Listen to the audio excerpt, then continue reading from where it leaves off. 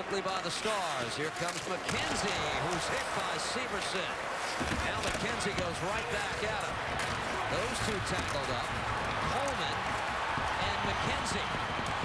And now a fight, Severson and McKenzie. Well, those two guys came together. McKenzie didn't like the initial hit from Damon Severson. There was no penalty called. And I like this from Damon Severson. No, I know he doesn't do it a whole lot.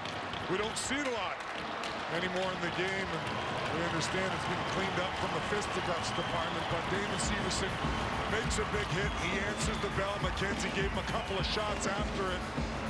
And Damon said, okay, I'm ready. Both guys spirited bout, a couple of punches, not a whole lot of damage. But I just like the aggressiveness here from Damon Severson. That's what they want to see. There's the big hit on McKenzie.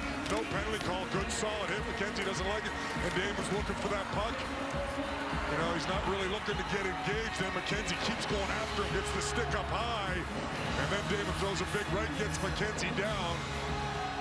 And not much after that, but I like the edge Damon Severson played with on this shift. As he sends McKenzie tumbling down. It's a good solid hit, good piece of him. And then he goes right after him after McKenzie was looking to engage him.